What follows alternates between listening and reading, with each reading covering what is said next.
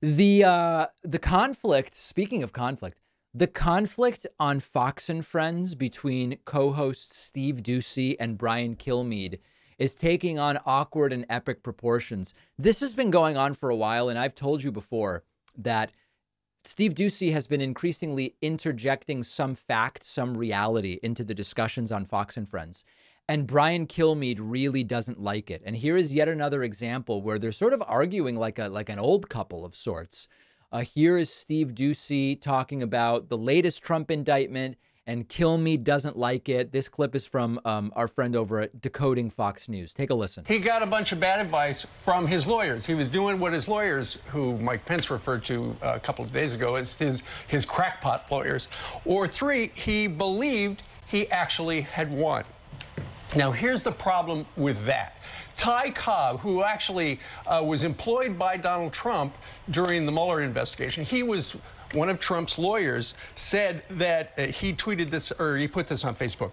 He said there will be evidence from several witnesses in this case that Donald Trump knew he lost. He said, I lost. And then Ty Cobb goes on to say it's going to be a D.C. jury. And this is the last line of Ty Cobb. He said, Donald Trump He's toast. Well, Steve, Steve I, that's where he's been. But I will say this: Who cares what Ty Cobb says? Anybody who's been lawyer. around, yeah, but he was his lawyer. He wasn't around him for the last a year and a half of the uh, Brian, I'm investigation. Just, I'm just reporting but, the facts. No, but but, but, but think about this: reporting. everybody around Trump, in in casual conversation, in right. serious conversation, on tour and beyond will, will not go five seconds without him saying he won the election. He was down Sean Hannity's throat for not uh, defending right. him Brian, what for I the January said was, 6th. I said Ty Cobb but, says they, they have my, several and, people who were told right, by Trump, that's fine. I know so, I lost. But that's fine. He says you know he lost. So you're going to, wait a second.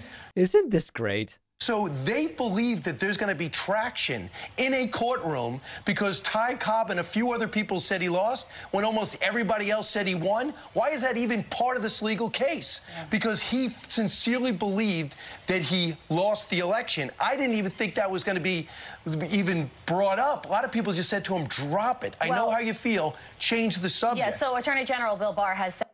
There you go not going super well between Brian Kilmeade and Steve Doocy. And of course, as always, many of the facts get mistaken or misstated or lost in these discussions. The issue of whether Trump believed he had won or lost is not actually at issue here. The idea that if this is why it's important, okay?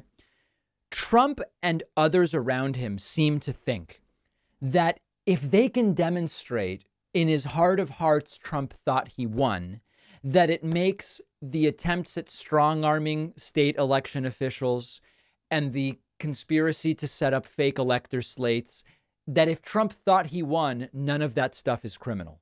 The problem is that is not what is in the indictment, and that is not what the law says. So, if that's the approach that they are going to take legally, you know, Kilmeade says, I don't even know why this is being mentioned as a legal argument.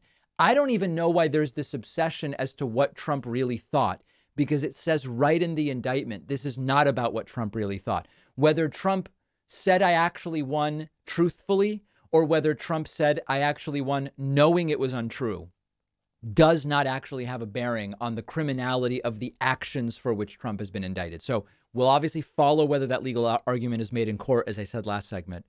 But I'm also really interested in how there seems to be trouble in paradise over there at Fox and Friends. We're going to keep an eye on it.